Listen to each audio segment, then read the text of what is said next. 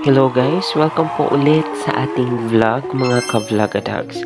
At dito po tayo ngayon sa bayan ng Squamish. Wow! At syempre pagkatapos natin mag-hiking ay tayo po ay kakain. So naghahanap po kami ng kakainan natin ngayon dito po sa Squamish.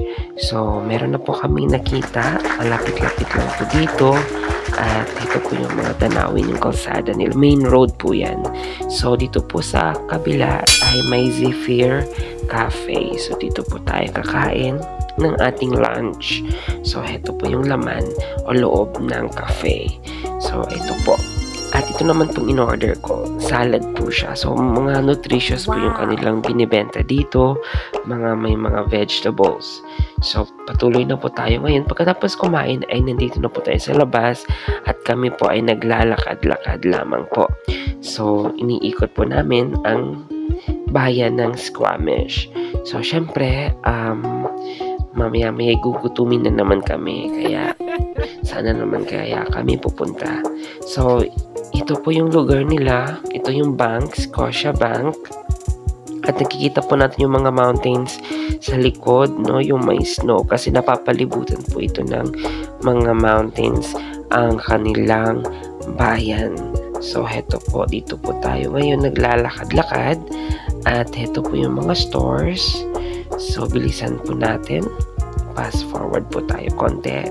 At heto po yung mga lugar. At makikita din po natin dito ulit yung mga mountains. At mga tanawin nila. Okay, papakita ko po sa inyo ngayon kung gaano po kaganda. Ayan po yung mga mountains nila. At napapalibutan po talaga siya ng mga mountains. Nasa gitna po siya. At naman yung pride na kasada. Okay. So, dito po sa dinaanan namin ay may parang mga changi or mga stores. Parang piyesta lang. So, nagbebenta po sila dito. So, halina po kayo, puntahan po natin. Bumaba po tayo at ikutin po natin ang itong mini Changian. Okay? So, ito po. Nakikita po natin ang mga binibenta nila. Mga locals po yung mga nagbibenta dito. Yung mga sikat po nilang products. So, tingnan na lang po natin. So, ito po. Medyo marami din po yung mga tao. Ayan po yung mga binibenta nila mga organic and healthy po ng mga pagkain na kanilang pong ginawa. Okay, mga nagsisimula pa po sila. So, heto po yung mga kanilang binibenta. Tingnan na lang po natin.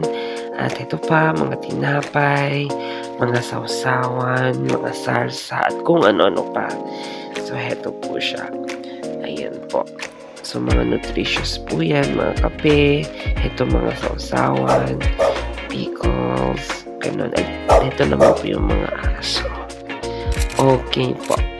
So, beauty check na naman po tayo habang naglalakad. At heto naman tayo. At medyo nagutom po kaya magpupunta po tayo sa isang donut shop. Okay, so kung saan makakabili ng donut po. Yan, coffee and donuts. So, local po ito siya. So, dito lang po siya nabibili. Okay. So, papasok na po tayo, guys. Ito po ang mga binibenta nila sa atin. No, mga donuts. Ito po yung loob po. Ayan. So, nakikita po natin. At ito po yung labas. At marami pong tao ang naghihintay. Sila po ay nakapila sa labas. So hanggang dito na lamang po tayo ngayon at see you again in my next vlog. Bye-bye. Thank you po.